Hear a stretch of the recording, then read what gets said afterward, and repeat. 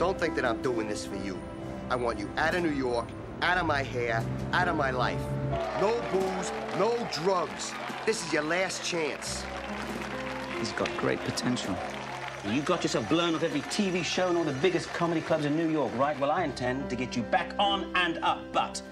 Johnny, one whiff of trouble, I pull Look, out. I get the picture, man. I'm clean, okay? I'm dry. Duffield's my agent. You're his chick. I do not belong to anybody. I am not anybody's property. Do you know about that business down the road? John! A geezer called Johnny Fratelli had three bullets pumped into him. It's getting more and more like New York. Police still wish to interview the man seen running from the The man incident. is described as white, 20 to 30 years old, wearing a black leather biker's jacket.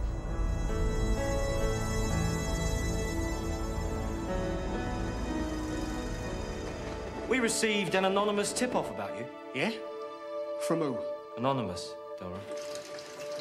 I got a nose for this. I was doing some collecting. That's not against the law, is it? You're going bad. And I don't believe it takes three days to do hair extensions. I didn't do it, Miss Willing. I mean, I don't know nothing about no gun. The man held in central London in connection with the shooting of John Fratelli has been charged with his murder.